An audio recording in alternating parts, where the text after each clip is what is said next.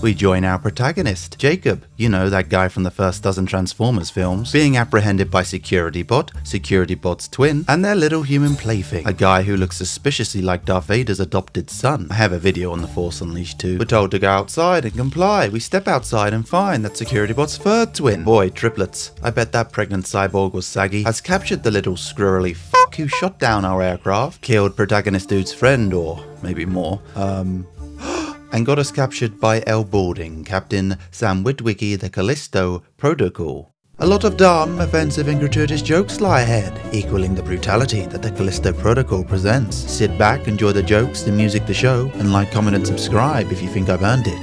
Bitch. Jacob wakes up in what could be a pricey vintage studio apartment in New York. We do the once over twice and become hypnotized by a pink box that totally isn't gay. But Jacob's dead boyfriend starts looking for a kiss and that totally is gay. Are gays immune to jokes? Jacob wakes up for realsies this time in what could be a luxury hotel, I mean cell on a planet or a ship. There's really no way you'd know because I cut that part out. We stare directly at the sun to assert dominance. We discover all hell has broken loose and by loose I mean every prisoner's wet dream. There's an alarm ringing, a warm cozy fire going and spotlights on the scene. The only thing missing is for someone to drop the soap. Well, there is Security Bot's fourth twin. Critical failure. Well, just telling me something I already know. For pacing, I know I should skip the next part, but I'm greedy, it's my video, so I don't. Casually strolling down one half of a flight of stairs, as one does in a fire emergency, we come across a bloke named Elias. And I say bloke because he sounds like he's from a rough part of Britain, and only blokes who are broke say bruv unironically. Hey, bruv, fuck is going on? Elias tells us he knows this place, he runs these streets, and if we help him, then he'll help us. He offers us a shiv fashioned from hardened feces, and tells us we can use it to hack into the control room. I didn't know feces could be used for such a thing, but I'm not going to argue with a man who fashions shivs out of shit. I take the shit, I mean shiv, but as we leave, he says, hey, don't leave me hanging. I'm shook. Elias, being a person of ambiguous descent, you'd think he'd have a better poor choice of words. I do a slick animation, transition, into the next scene, but skip the next 30 minutes of the game because it's more of the same and I ain't got time for that. You know, a little something like inmates attack us, we dispatch of one, we dispatch of another.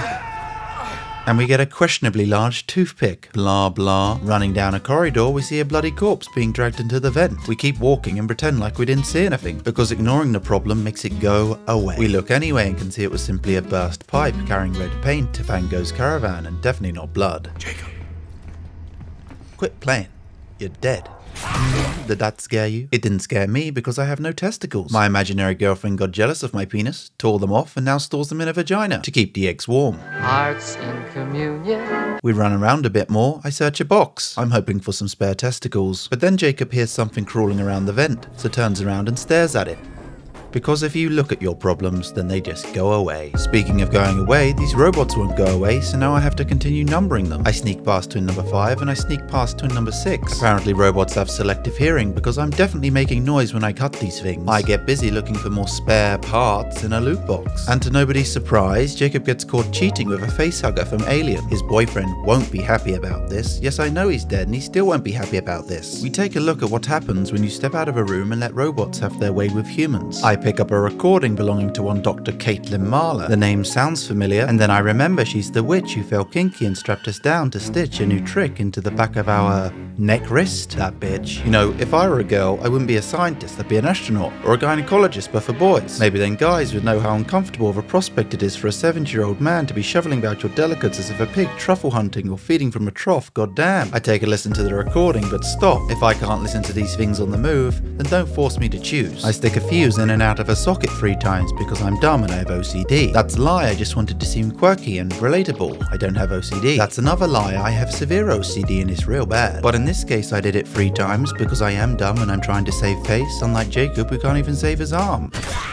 Luckily, Jacob is a lizard, so regrows his arm and uses it to bludgeon one of two infected with his toothpick. The second gets scared of the mean lizard man, so runs away in a sense. We're down bad, so pop a squat and take a shot of heroin. The hit is good, so we keep squatting pop and take another. Urine has never been so useful. I notice a fan spinning incredibly fast, and because I'm a boy and all boys are destructive, I wonder what would happen if I stuck my Willy Wonka in spinning metal going 5 million RPMs. Nothing good, and this saddens me because I wanted chaos. We climb through a bloodied vent, drop down into a quiet room and find a new toy. But before Jacob can unzip and unsheath his own toy, we're interrupted by a ghoul. Unacceptable. We jump forward to Jacob's head being crushed as if elephants stepping on watermelon. Gibble gobble. I jump forward again as I found that disturbing, and I'm now side-eyeing the developers. Debbie, save me.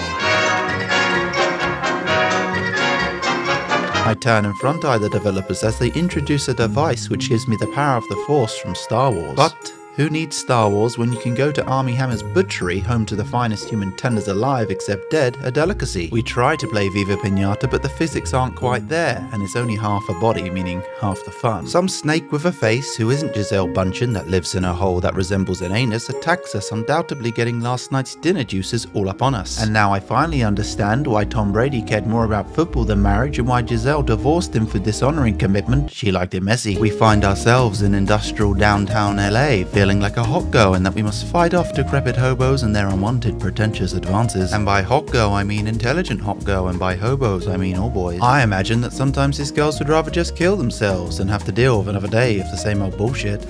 Talking about girls and boys and their bullshit, we encounter attempted double suicide again. She says hey, much like girls at the gym wish they could respond, when some ugly ass, rat looking incel with giant biceps and a peg leg dares to approach her and attempt to speak at her. She'll throw you in a cage where you belong, where you can shrink back to your default two decades deep malnourishment and atrocious hygiene. You don't brush your teeth or wash daily or dress nicely. You're not ambitious, you're stupid. Why even get mad when girls want nothing to do with you, loose screw? Beggars can't be choosers and clever hot girls don't couple up with losers. Because I currently operate the moral high ground, I make Jacob stop for a moment and reflect by looking out the window. Boy, it looks cold out there, and I'm sure glad I'm not out there. In the dark of a night, in the midst of a storm, struggling, traipsing around in the snow. Skipping forward an hour, we join Jacob battling through the heat of the Arabian desert. All this sand and no water? I worry for the protagonist. Look, over there, a shady figure in the thick of the mist. Hopefully it's a local so we can ask for directions and then get the wrong directions. It's definitely a local, what with the foul mood, screeching about how foreigners are a blight and how all invaders are categorically lesser humans who are ugly bottom feeders, yada yada. They themselves have missing teeth and gums leaking rotten gunk and nose so crooked even incest sinners couldn't look twice. An entire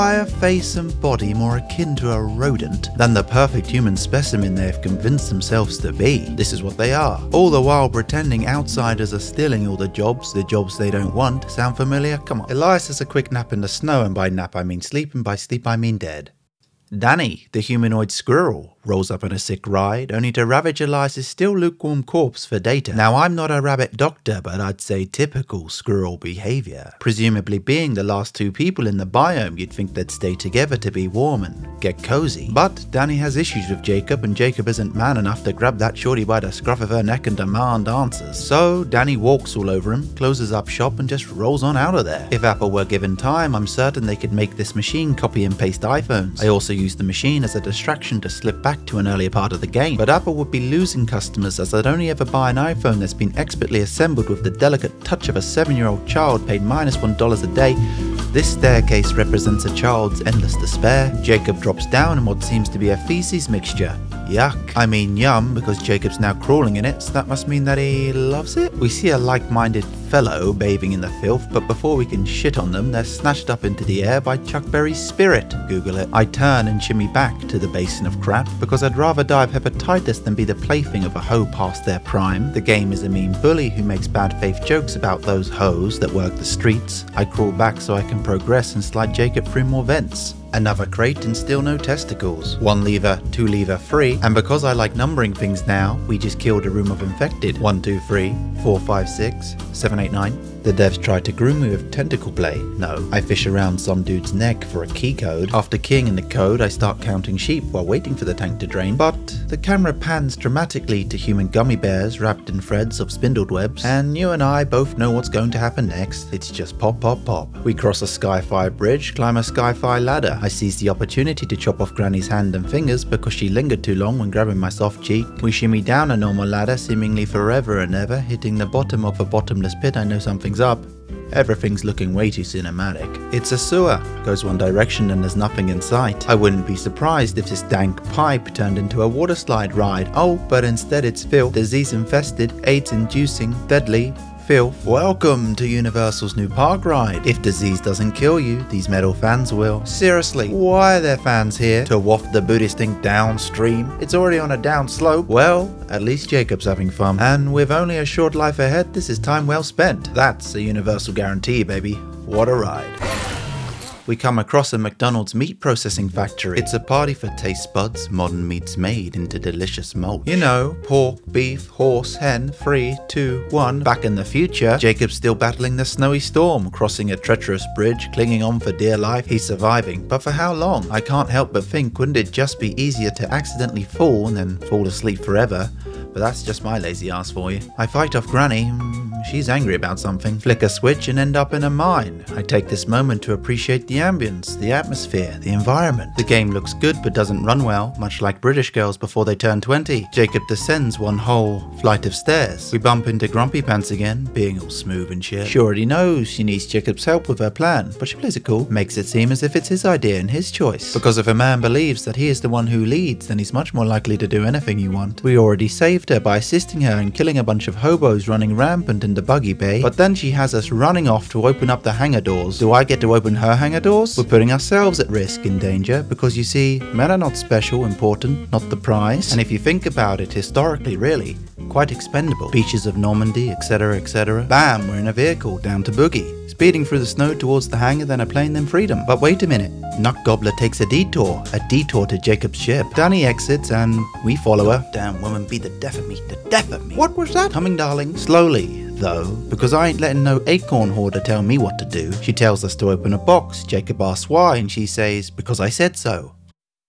Okay, girls really do believe this is an adequate reason to get anything they want, and that the defaced dead boyfriend shows up to call Jacob a bitch. I agree. Jacob, use a bitch. By way of miracle, we make it to the top of the hangar and cool down the ship. This bold bastard shows up and starts monologuing with his two monocles wearing ass, saying, Uh, well, actually, two monocles instead of glasses are in fashion. You'd know that if you weren't 2020 vision freaks. Then he says something like, I'm impressed you made it this far, blah blah, but there's too much at stake here, blah blah. You can't can't leave and the protocol cannot be broken, blah blah blah.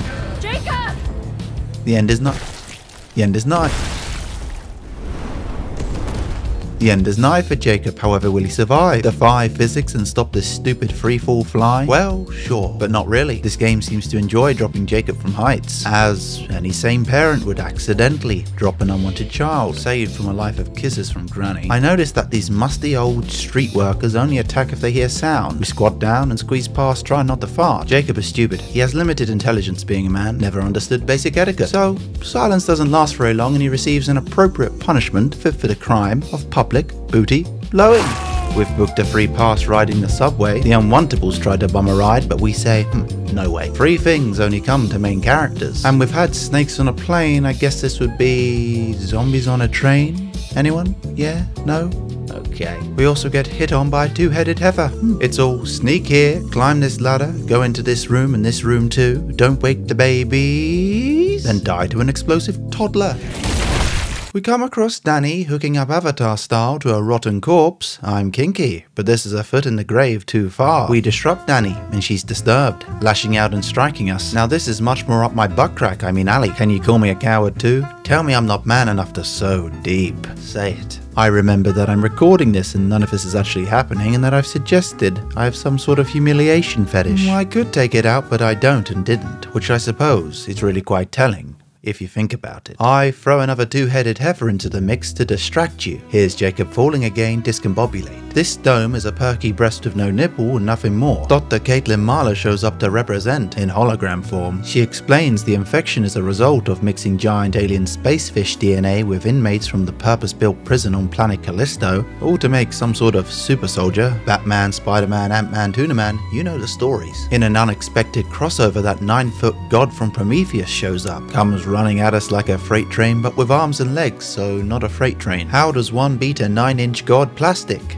or just a lack of motivation, I don't know which is more believable. Dani receives an unexpected IVF treatment. Gross. We deny Dani the mercy of death because Dani is a queen, the queen needs food, the queen makes babies, the babies get more food, the queen needs more food, the queen makes more babies, comprende? Security bots 7 for Nafe Twin.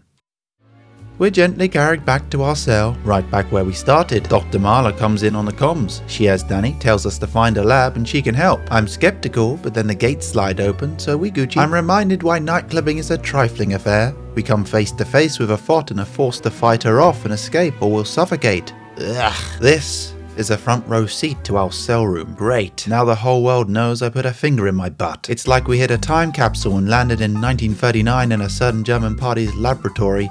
Nasty business. Bippity boppity boo. Mahler is found and Dani too. Mahler is trying to slow Dani's infection. She tells us the Callisto Protocol is the 90 foot god who can't even break a window. To save Dani, we need they them's DNA to create a serum. Before we go, she says, Hey, come look at my school art project. Baby, you crazy.